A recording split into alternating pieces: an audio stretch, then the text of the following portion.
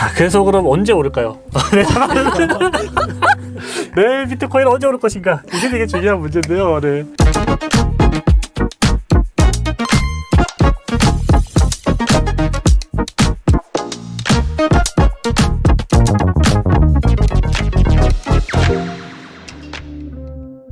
안녕하세요. 코빗 인사이트의 최윤영입니다. 오늘은 코빗의 한재만님과 인사이트 한번 진행해 보려고 합니다. 재만님, 먼저 자기소개 좀 부탁드릴게요. 안녕하세요.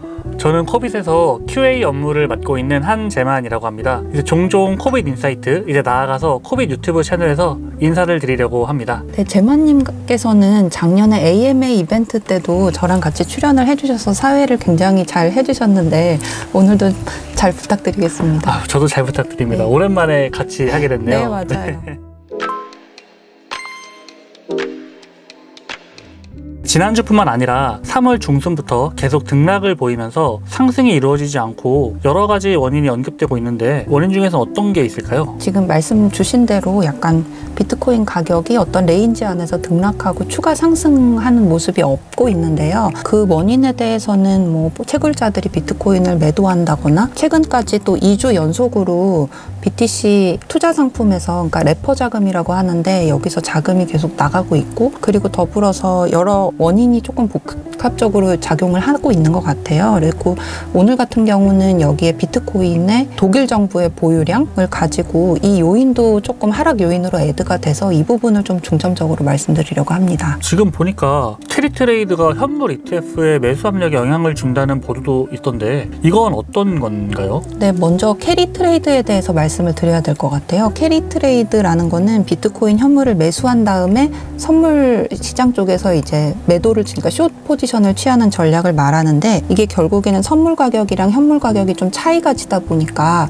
이 차이를 또 베이시스라고 하는데 이 베이시스가 플러스일 때 이 베이시스를 이득으로 취하는 전략을 말, 말을 합니다. 그런데 The Block이라는 데에서 보도를 했는데 이게 13F라는 분기별 공시가 있는데 여기서 많은 헤지펀드들이 실제로 비트코인 현물 ETF를 갖고 있는 걸로 나왔거든요. 그래서 지금 헤지펀드 같은 기관 투자자들이 이런 캐리 트레이드를 저, 전략을 취하고 있는 것 같다. 물론 정확한 전략을 어떻게 취하는지는 알 수 없지만 이런 캐리 트레이드 전략을 많이 취하고 있는 것 같다라고 언급을 했습니다. 그래서 현물 비트코인 매수만 하면 상승이지만 사실 선물 시장에서 숏을 치게 되면 어떤 추가 상승 압력을 제한하는 요인이기도 하지만 가격이 내릴 때는 조금 캐리 트레이드가 원인이나 결과도 되는 것 같습니다. 그러면은 이게 왜 원인도 되고 결과도 되는 건가요? 이게 대부분의 캐리 트레이드가 레버리지를 사용하다 보면 만약에 비트코인 가격이 하락하는 상황이다. 그러면 사실은 투자자는 현물 시장에서 비트코인을 사고 선물에서는 숏 포지션을 취하는데 가격 하락 때문에 현물 포지션에서 손실이 발생을 하면 이게 마진콜이라는 게 발생해서 이거를 만약에 충족하지 못할 때는 강제 청산이 나오는 거거든요. 물론 이제 선물 포지션에서 수익이 나올 수도 있지만 하락할 때는요. 그런데 전체적인 손실을 제한하기 위해서는 투자자는 모든 포지션을 정리할 수 있습니다. 그래서 이 경우는 캐리 트레이드가 가격 하락의 결과로 생긴 거고요. 그리고 반대로 만약에 원인이다 그러면 조금만 하락해도 만약에 이런 포지션을 정리한다 그리고 여러 투자자가 이런 비슷한 전략을 취한다 아까 The Block의 보도처럼요 청산에 따른 하락 압력이 조금 더 커질 수 있다 왜냐하면 현물 시장에 대규모 매도 압력이 나오기 때문에 이런 경우에는 캐리 트레이드가 하락의 원인으로 작용한다는 예시로 말씀드릴 수 있을 것 같습니다. 아, 그래서 그러면은 비트코인 가격이 현재 추가적인 상승이 없이 등락 또는 좀 전체적으로 하락한다고 이렇게 볼 수가 있겠군요. 네. 그럼 아까 독일 정부의 비트코인 보유량 처분이라고 말씀을 하셨는데 독일 정부가 BTC를 보유를 하고 있었네요.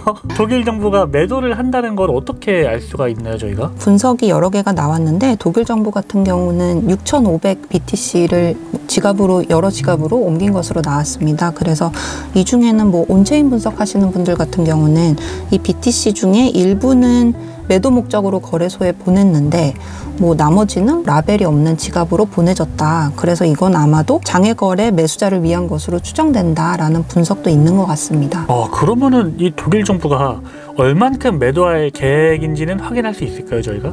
이게 그 분석에 따르면 독일 정부가 얼마나 많은 BTC를 매도할 계획인지는 아직은 모르겠다고 해요. 그런데 더 중요한 질문은 가격 상승이나 하락으로 봤을 때는 왜 지금이냐 하는 것을 살펴보면 좋을 것 같습니다. 어, 그러니까 그러네요. 어떻게 보면은 지금 시장이 좀 좋지 못한 것도 있고 장기적으로 보면은 왜 지금일까 하는 의문이 남기는 하네요. 그렇다면 독일 정부는 시장에 대해서 어떤 판단을 했길래 지금 이렇게 하는 걸까요? 독일 정부는 단기적인 가격이 어, 이 정도는 적절하다라고 판단을 했을 때 그러니까 단기적으로 봤을 때 BTC가 오르기는 어렵다라고 판단을 할 때만 매도를 할 거라고 좀 추정이 되고요. 그러나 독일 정부는 여전히 한 4만 3천 BTC를 보유하고 있기 때문에 매도한 양에 대비해서는 굉장히 아직까지는 많은 보유를 하고 있는 거라고 볼 수 있고 그렇게 본다면 장기적으로는 BTC가 더 상승할 여력이 있다.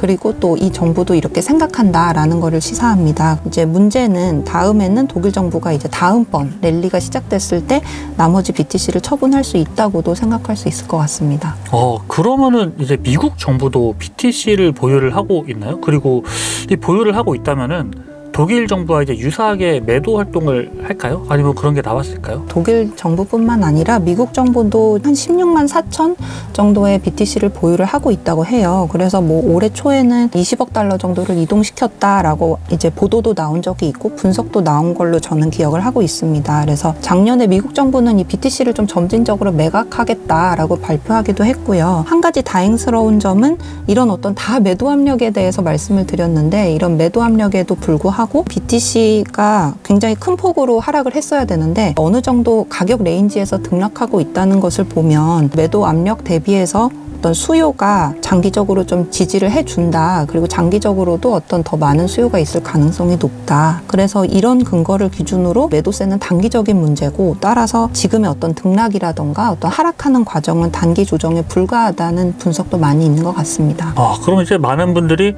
이 비트코인을 포함해서 전체 가상자산 시세가 떨어졌다고 좀 암울해하시는 것 같은데 제가 봤을 때는 예전에 그 대하락장 이제 crypto winter 막 이럴 때 보면은 그때랑 비교해 보면은 그렇게 떨어진 건 아닌 것 같아요. 하락 영향을 끼친 여러 요인들이 있었지만 약간 이제 crypto가 좀 굳건해진다 이런 느낌을 받기도 하는 것 같습니다. 네, 저도 제마님 말씀에 동의하는 편입니다. 자, 그래서 그럼 언제 오를까요?